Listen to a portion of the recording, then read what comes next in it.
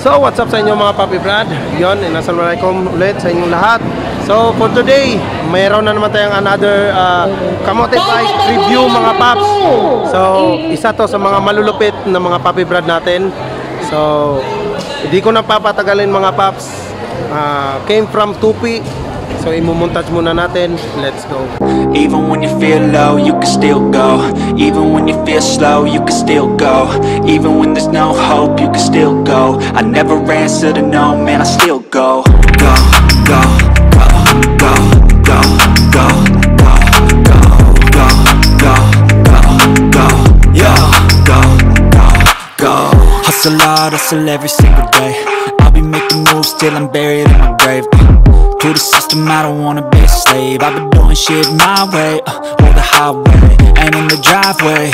Is a nice range Cause I grind through the climb, I invite pain. You'll never hear me, bitch, nah, I don't complain. Just gotta flip the switch and you can go and obtain Anything you want, anything you need. Your mind's got the key ingredient, it's belief. So ayun mga paps, nakita na yung montage natin. So, welcome ulit sa ating segment, ang Kamote Bike Review.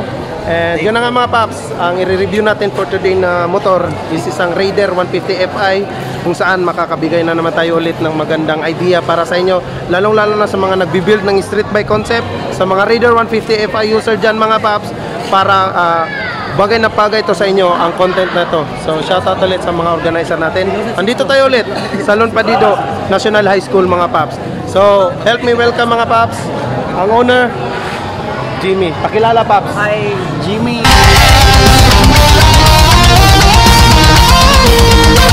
Alan Salada, may shop sa Tubig Muay Thai Park. Yun, siyempre, ang mekaniko natin. Ganit ako.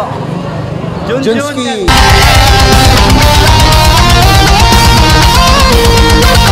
Junski. Castillo, JT JT Works lang malakas from Tupi mga paps. So yun na nga pala, merong shop si Jimmy mga paps sa Tupi. Kung gusto nyo mag-order, nasa screen ng kanyang Facebook account. So ang address paps, Ah, along National Highway front of Tupi National High School. yun. So dyan nyo lang, uh, dyan nyo lang mulocate ang kanyang ah, shop.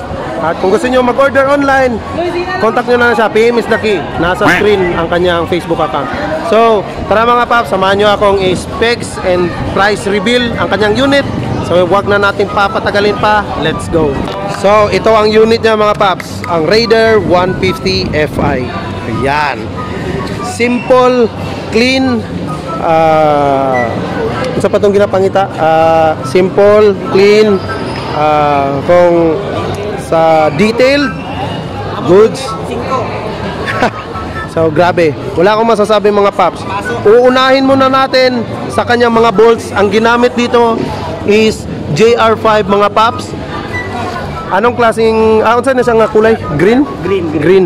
So, ilang percent? Mga 90 siguro, Pops. 90%. 90% ba ni? Do kompleto naman eh. 95. 95. Nasa 95% mga ah, mga almost 100. Almost 100% ng mga paps balot na balot na ito sa JR5. So magkano lahat ang ginastos sa bolts paps? Mga 20 to 25. 20 to 25k budget meal. 'Yon. Sa mga Raider 150 Fi diyan. Yan ha. Sa bolts pa lang mga paps. Mas maganda kasi kung detailed masyado mga paps, yung bolt. Siyempre ibagay nyo talaga yan para siyempre first impression talaga yung pinaka the best na yung unang pagtingin po lang ah, pagtingin mo pa lang sa motor dapat maganda na. So napakalinis. So again, 20 to 25k bolts pa lang yan mga paps. So akyat tayo dito sa itaas. Ay kasali na ni siya paps. Sali na. Kasali na. Ah, kasali. Sa Twitter. So kasali na ito ha. So sa braking system tayo mga paps. So ang ang ginamit niya dito sa brake Formula 8.1 Latest, latest. murag rare no? Oh, latest. Wow. First time ko makakita. So mostly yung ibang na, nakikita ko na Version 1. version 1. So ito latest. Magkano? Unang labas nito, Pops, na nabili ko nasa dalawa, 30k. Pero 30K. parang mga 25 na lang ni. Kung separate separate lang. Ay, hindi, dalawa na lang. Ah, dalawa na. 30k. So nakuha niya ang kanyang brake at saka clutch mga paps. Labas. Pero ngayon, mura na na yan, Pops. Pero ang Zeta na Zeta na clutch, kung separate 10 yata. 16.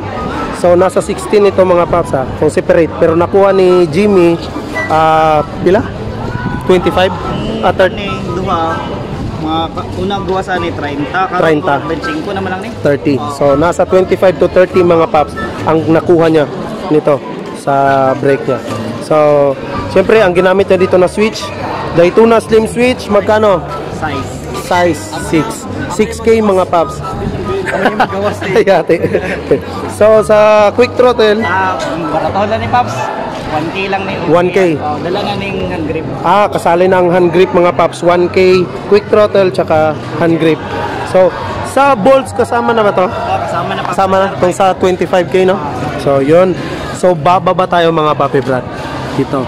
Ah, ang T-post, GRP T-post, magkano? 4-5. 4.5. Yun. Goods. so, ang ginamit ng caliper dito mga paps is CNC formula. Mag formula. magkano? Version 1. Magkano? Mga 14 Paps. 14. 14k mga paps. Grabe. Hindi rin basta-basta. Kasi mostly yung mga nakikita ko na formula is yung common, di ba? Ma- may isa, di ba, common. So ito, CNC. CNC. So at naiba din mga paps. So ang ginamit na dito, quick release uh, sweet sauce. Magkano? 2.9. 2.9. Grabe. Grabe. Sarap ng quick release mga paps. Kung ako sa inyo, mag-quick release kayo mga paps kung gusto niyo. Kung meron kayong mga madidiin na caliper, idiin nyo na rin sa hose. Di ba paps? Para goods. Hindi lang dito. Pati dito din sa itaas, idiin nyo na pag na, once na nag-build kayo. At hindi lang dyan mga paps, isama nyo na yung disc. Magkano ang disc? 47 Paps. Ha? 47. 47. Ano? Anong brand? Ah, Moto 3 NG. 42 na lang na. 42, 45. Ah, 42. Ah, 42. Mo Moto 3 Moto 3 NG. NG. So, magkano ulit, Paps? 42 Paps to 42. 45. 42 to 45. Malentay. 42 to 45k Moto Moto 3 NG. NG, Moto 3, ah, Moto 3 NG mga paps. Grabe. So yun, tulad ng sabi ko, pag nag-build kayo, idiin nyo na, isagad nyo na mga paps. Kasi once nasasali kayo sa show, hindi yung pwede yung tama ka na sa ganito. Siyempre, pag sumali ka, meron ka talagang hinahangad na na award, di ba paps? Sagarin nyo na. Kung may pera man lang, sagarin nyo na. Pero kung wala, ah, paunti-unti lang, paunti-unti. Siyempre, sa kasali na ba ni Paps? Ang Sa Nipol Paps. Sa Nipol. Pabalita ko na sa una 6.5. 6.5 front pa lang. Bundle. Front, ah, front and rear. So dalawa na Paps. Nipple pa lang mga Paps ah. Dalawa na yan. 6.5? 6.5. 6.5. Ito, 450. 450. Grabe. Ito pa lang mga Paps. 450. Pito cover mga Paps. Grabe. So ang gina- ginamit niya na rim, DID rim mga Paps, 1.2 1.2, 1.2. 1.4. So 4590, 60, 6080. So it my dust mga paps, front and rear. So akyat tayo dito. So mamaya na tayo diyan mga paps ha. Dito muna tayo sa likod. So Are, kasali na ba ni Paps? Brake arm? Ah, 6.5. 6.5. So, muna ni siya. So, 6.5 mga Paps, kasama na to. So, sa mga ihi, sa I, kasama na? O separate?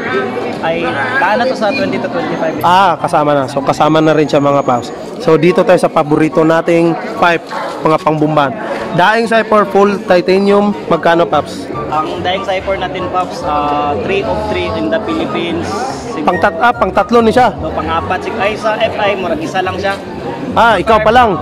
Ikaw, so, Ang kuhan, Pops, nasa 60 to 65. 60 to 65. Grabe. So, nag-iisa sa radio. Ah, customize. Nag-iisa pa lang sa FI. nag-iisa pa lang. Oh, sa FI, Sa FI mga paps nag-isa. Customize sa mga paps for. Grabe, solid. Grabe yung mga papi brad natin. So dito, ang ginamit niya na shock YSS. Kung saan siya na YSS paps? ah, G series. So ayan o. G series. Magkano? 65. 6.5. 6.5 mga paps. Grabe. Budget meal. Grabe, budget meal. Sa JRP Swing Arm, Black Edition. 95 Pops. 5.5. Grabe, napakasulit mga paps. So, sa mga papi brad natin dyan, na mga regular FI user, so ito na mga paps.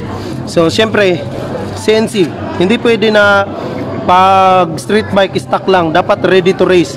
Dapat naka uh, bore up talaga, paps no? Oh, Ah, anong ginamit na Boktay? Ah. CNC, oh. 18K mga paps from Boktay. Magkano ang ah, ilang mm? 68 mm. 68mm. Tingnan nyo nga naman mga paps. 68mm from Buktay mga paps. So, kung ako sa inyo, kung gusto nyo bumili ng mga CNC block, PM nyo na si Buktay mga paps. Yan. So, dito tayo sa sa kulan. Buktay. Buktay gapon. Kasi tawagan ni gani? Okay. MZ Titanium by Book. Ah, MC Titanium. From Buktay pa rin mga paps. Magkano? Mga pa, kasali na eh. Oh, kasali ka. Magkano? 18 to 20k. 18 to 20k? Grabe, power. Yahoo Pops. 18 to power. Grabe. So, before natin makakalimutan mga paps, ang kanyang cover. So, hindi po siya pintura lang. ah, para siyang balat ng ahas. Muna siya tong mini honeycomb. Oh, Mini honeycomb. So, naka-skinning po siya na carbon. Yan mga paps. Color green, mini honeycomb. Magkano ang inabot, paps? 25k Pops. Ha? 20. 25k. Yan. Kasali na na eh. Wala pa. Green lang. Green lang, 25k. So are, 1.5. 1.5. Grabe. So yan mga paps ha. Kung gusto nyong mag-build ng Raider FI, katulad nito, simple pero napakalakas ng dating yan no. Budget meal lang. Budget meal paps no. Budget meal lang. Abot kaya. So sa MSD, magkano paps? 8.5 Pops. 8.5 Grabe power So syempre Before natin tatapusin ang vlog mga paps Hindi pwede na walang sound check to Dapat may sound check di ba? So yan mga paps Maririnig natin ngayon Ang sound check Sige paps So ang ginamit na dito Nagpalit na siya mga paps ng sasusian Daing Cypher Full Titanium Nag-iisa lang exclusive sa Raider FI mga paps. So first pa si Papi Brad, si Jimmy pa lang ang nagkakaroon ng ganito. Ah, customized daing Cypher. Di ba? 68mm yan mga paps. Grabe, napakasulit. Paps, okay na. Grabe, napakasulit, napakasulit. Astig.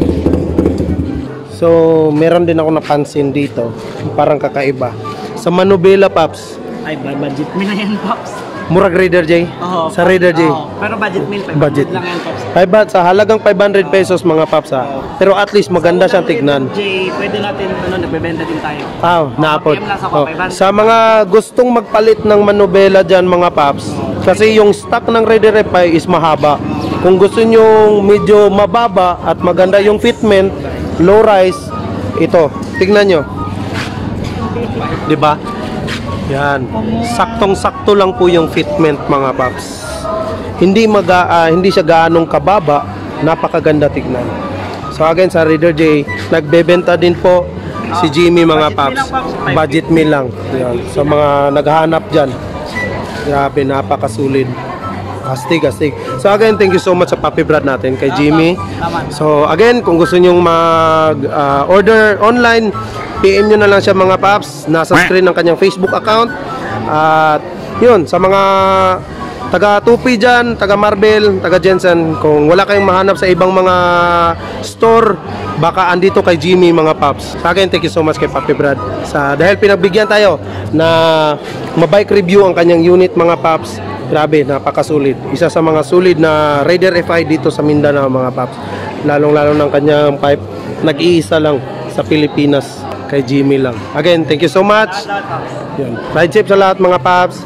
Again, thank you. So, kita-kits ulit sa mga susunod na Kamote Bike Review mga paps. Abang-abang lang, marami pa tayong ah, e-bike review mga paps. Again, shoutout din, JT Works, kay Junski. Shoutout pala sa mekaniko ko, Pops, kay sige. Junjun. Shoutout kay Junjun, kay Team Team, kay Peanut, kay Buloy. Maraming salamat sa inyo, GT Works family. Power! Yun, solid, solid, solid. Siyempre, ayan sila. Andito kami sa event yan. Thank you so much. Thank you, Paps. ah. Solid, solid. So, kita-kits ulit mga papi brad. Peace out.